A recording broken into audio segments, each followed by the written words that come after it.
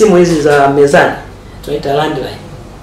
Hii moja kwa moja imeungwa kwenye ukuta kwenye mkondo wa umeme, mpitisho ule.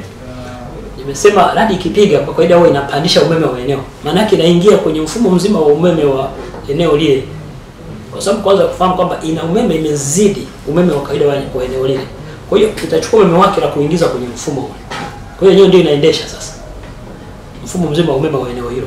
Kwa ndio maana naingia kwamba kwamba radi ikipiga utakuta taa zote zimeungua. Utakuta kama transformer imeungua. Kwa maana yake imeingia yenyewe sasa ndio ina inafanya kazi, sio mfumo wa kawaida. Na kwa kawaida TANESCO wana tabia moja au watu wa umeme.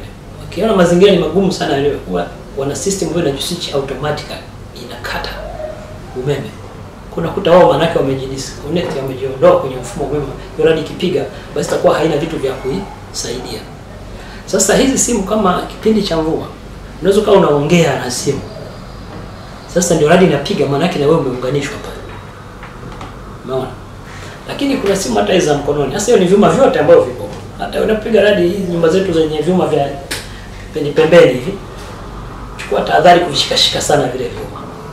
Kaa sehemu ambazo ni za mbao mbao ili kusudi ikipiga ule umeme utakapouongeza usikupe shida. Lakini kwenye simu za mkononi vile vile. Of course haijaungwa kwenye umeme. Sawa. Lakini kumbuka inapata mawasiliano kutoka kwenye kifaa fulani ambacho ni cha chuma. Inawezekana radi, kumbuka minara mingi iko mirefu sana. Inawezekana mnara wangu uongea nao sasa hivi um, ndio umepigwa na radi. Yaani simu yako inapata mawasiliano kutoka kwenye mnara fulani. Mnara huo umepigwa na radi. Sasa umeme wake maana yake unakuwa generated na radi sasa hivi. Maana yake kama ni madhara basi atakuja moja kwa moja, mionzi mingine itakwenda inakuja kupitia wewe kwenye simu. Kwa unaweza ukashangaa simu inapiga kelele kwa za kawaida isifanye hivi. Na ni madhara vile vile katika saikolojia. Kwa hiyo ni vitu ambavyo vya kuchukua tahadhari kukaa mbali na hivyo vitu.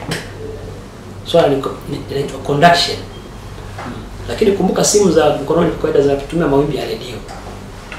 Sasa hazijaunganishwa moja kwa moja. Ila unawezekana mfano kuna tabia kwamba mtu unachaji simu kwenye ukuta mkononi unaipa umeme. Mtu anakupigia unakwenda kupokea. Na ni kipindi cha radi cha mvua. Utakuwa miongoni mwa wale sawa sawa na landline. Kwa kawaida uhusiano rangi na radi sayansi haijaonesha maandiko yote au sayansi yote na uhusiano. Hilo kulisemea kwamba kuna uhusiano unahitaji kufanyiwa utafiti wa kutosha. Radi zina mambo mengi kiimani. Kuna imani nyingi sana. Utakuta radi wanakuambia umefanya, kuna mtu amewahi kufanya dhambi mara fulani, basi radi namfuata. Na mara pengine unayasikia hayo, lakini hayo hayana ushahidi sana kwamba kipindi cha radi radi nimesema inatafuta sehemu ambayo ni ndefu kupita zote. Sasa unaweza ukawa uko eneo ambalo mfano uko shambani, ni eneo la mpunga mfano, hakuna miti, mashamba ya mpunga nafahamu yalivyo yote ni ya chini. Ni mrefu zaidi ni mtu anayelima tu. Maanake ikatafuta sehemu ndefu kuliko zote, inakupata ni wewe. Kwa hiyo wewe ndio utakuwa ile etheroid, kwa hiyo ndio utakuwa conductor, lakini kwa sababu wewe uwezo wa kuhimili joto ni mdogo, lazima ufe. Ungekuwa una uwezo kama kopa, ingepita ukaenda mbele. E, kwa hiyo utakuta kwamba mazingira mtu hivyo, lakini kwenye kipara inakuja kwamba utaratibu unaeleza endapo umekaa sehemu kama hiyo tambarare kabisa peke yako, kitu kirefu ni wewe, ikusudi kusudi wewe kuwa salama, unapaswa kubonyea, usiinue kichwa, sawa? Maana kutengeneza kitu kama duara fulani, mikono yako isiguse chini, umejishika kwenye magoti kama duara, tulie. Kwa hiyo zile chaji zikipiga zinafika kama duara. Duara kwa kawaida halina tatizo ya kuchaji, huwa zina balance. Utakuta za chaji kama za ardhini zinakuja kwako hazijakaa kwenye pointi moja, ila zimetapakaa. Kwa hiyo unakuta radi haiwezi kukupiga. Viashiria vingine tunavyosema kwenye kwa kawaida, kiashiria cha radi cha kwanza huwa kipindi cha maradi huwa kunatokea wingu jeusi. Kwa kawaida anga unaanza kuwa jeusi kama uko kwenye eneo la wingu lile jeusi, mara upepo kidogo, mara unashangaa ghafla inapiga. Kwa kawaida binadamu chaji, kwa sababu ziko kwako zinatembea na wewe, nywele usisimuka,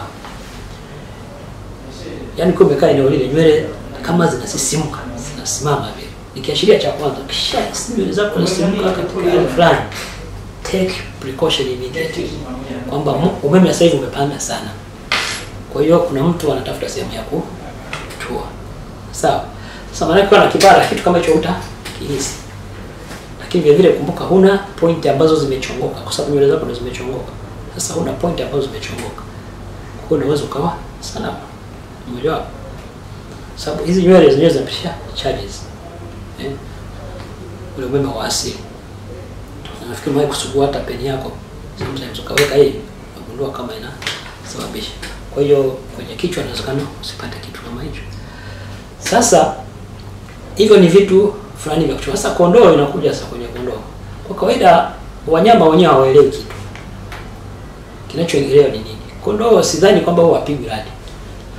Kila sehemu nyingine nakwambia kama unachunga kondoo kaa mbali nao. Anytime, no? Wanasema kondoo, ng'ombe kaa mbali nao. Sasa yoyote kipindi cha mvua utapigwa na radi. Kwa nini? Kwa sababu wenyewe wana pembe, wana nini, vitu vyochongoka. Sasa tukirudi kwenye swala ya kujikinga na na madhara ya radi. Ni kwamba katika ndege ndege ambazo zinasafirisha abiria ni kwamba jinsi zilivyotengenezwa ndege, kwa kuangalia jinsi umeme unavyoweza kukaa kwenye ile shape au umbo la ndege, ni kwamba sio rahisi ndege kupigwa na radi kwa jinsi ilivyotengenezwa yenyewe, ilivyo ile umbo lake lile la mduara ni mtawanyiko ule wa nguvu ya umeme huweza kutawanya au hauwezi kuruhusu radi kuipiga moja kwa moja. Ni mara chache sana, na inatakiwa iwe katika mazingira ambayo ni makumu sana ume, ambayo yanasababisha udhaifu fulani. Kwa hiyo kwa kawaida kupata taarifa za kwamba ndege fulani ilipata ajali kwa sababu ya, ya, ya radi ni mara chache sana na ukienda kwenye maandiko ni mara chache mno. Hiyo kitu kiliangaliwa vizuri katika kuhakikisha kwamba ndege haipigwi na radi. E, tukirudi kwenye swala unapokuwa mfano kwenye misitu, unapokuwa msituni, kwa kawaida msitu una, una, una, una miti mingi. Hii miti ina vimo tofauti. Kuna mti mrefu kuliko yote ndani ya msitu, lakini fahamu katika msitu ule ndio penye unyevunyevu mwingi ambao unapelekea kufanyika kwa mawingu. Sasa kwanza, kitu cha kwanza tahadhari unaweza kuichukua kwa yote hayo, hata ya kusafiri kwenye ndege, kwanza ni kupata taarifa za hali ya hewa. Taarifa ya hewa huweza kuongelea suala hili la kuwepo uwezekano wa kuwepo kwa athari za radi. Ukuta mamlaka ya hewa au SEMETA ametoa taarifa za leo wakielezea uwezekano wa kutokea mawingu, mvua na ngurumo maana yake kuna uwezekano wa radi. Kwa hiyo ni tahadhari ya kwanza kwamba umejiandaa. Safari yako kama ni ya msituni, basi iende ukiwa unajua kwamba leo naweza nikakumbana na hiyo radi. Sasa utakapoingia kwenye msitu, kule msituni unapaswa uendelee kuangalia hali inavyobadilika. Ukiona kwamba kumeanza kujitengeneza mawingu mazito, ni vema ukatoka nje ya msitu na kuangalia sehemu ambazo kuna miti mirefu ambayo inaweza kuhatarisha maisha yako. Usikae nayo karibu hiyo miti mirefu, maana yake ndio sehemu mwafaka kwa radi kutafuta sehemu ya kuingia au kupitisha nguvu yake kwenda ardhini. Ukiwa kwenye sehemu tambarare kama nilivyoeleza, ambaye wewe ndio mrefu kuliko vitu vyote, na huwezi kukimbia kukaa kwenda sehemu nyingine yenye sehemu yenye vitu salama vya kuweza kukinga tafadhali chuchumaa chini, ujipinde wewe umeinama, ujipinde. Kwa hiyo maana yake utakuwa kuna uwezekano kuna kiungo kitu kingine ambacho ni kirefu kuliko wewe kitakuwa kipo pale kitakusaidia, lakini ukiinama, ukichumaa, ukajipinda, ukashika magoti yako sawa miguu, basi uko salama. Lakini vile vile uweze kusoma ishara kwa kuhisi mwili wako unavyohisi. Kwamba sasa naona kuna msisimko fulani. Kuna hali fulani ya giza giza, alafu mwili umesisimuka, jua ni wakati wa kuchukua hatua stahiki. Ukiwa kwenye maji, wewe ni mvuvi, Kumbuka unapokuwa kwenye maji, wewe mvuvi, wewe ndio sehemu ndefu kuliko yote, maanake kwenye mtumbwi wewe ndio mrefu na wingu liko juu hapo, hatari ya kunyemelea. Usijirushe kwenye maji, utakufa mapema.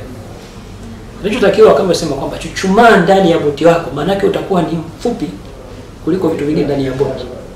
Kwa hata ikipiga itapiga kuzunguka boti kule na kwenda kwenye maji, wewe utaathirika, uko salama. Ukiwa kwenye mashule, wale mashule, mahospitali na sehemu nyingine, ukiona hali inakuja, chukua hatua stahiki, ikiwa na maana ya kuelewa. Tumesema kwamba ukiwa una katika karibu na vyuma ambavyo vinapitisha umeme, kama mbali navyo, maanake kipiga kile chuma kitaweza kusambaza umeme, kwa sababu inapandisha nguvu ya umeme wa eneo lile. Ukiwa kwenye magorofa, magorofa kwa kawaida, majengo marefu yote katika ujenzi wake huwa kuna sheria inayosema lazima wawe wameweka mitego hiyo ya radi. Kwa maana yake kuna vitu ambavyo vina iangalia hiyo, lakini ukiona hali ni tete, shuka ndani ya ghorofa, toka, kwa sababu maana yake ndio refu kuliko yote, itapigwa hilo tu, nenda sehemu nyingine, utakuwa uko salama. Kwa hiyo hayo ndio hatua stahiki za kuchukua. Endapo unaona kuna viashiria vya kutokea kwa radi. Lakini nasisitiza tena, kiashiria cha kwanza au angalizo la kwanza huwa ni kupata taarifa za hali ya hewa. Utakuwa salama sana kama hizi taarifa unazitumia kwa usahihi. Yote hayo hayatakukuta.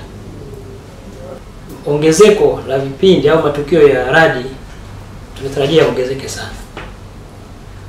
Kwa hiyo ushauri mkuu uliopo maana yake ni angalizo kwamba ukiona radi zinaongezeka sana maana na, majanga yanaongezeka sana, kupoteza uhai kutaongezeka sana. Sasa wananchi ni kujiandaa. Kujiandaa ni nini? Kupata taarifa kutoka kwenye mamlaka ya hewa, ndio usalama wa kwanza. Kitakachofuata ni mwananchi unapofanya maendeleo yako yoyote ya kiuchumi, lakini pamoja na ujenzi wa miundombinu yote mashule, hospitali na vingine vyote vya mawasiliano. Pata taarifa za hali ya hewa katika maandalizi ya hiyo miundombinu ili iweze kukuandaa vyema katika mabadiliko yanayokuja baadaye.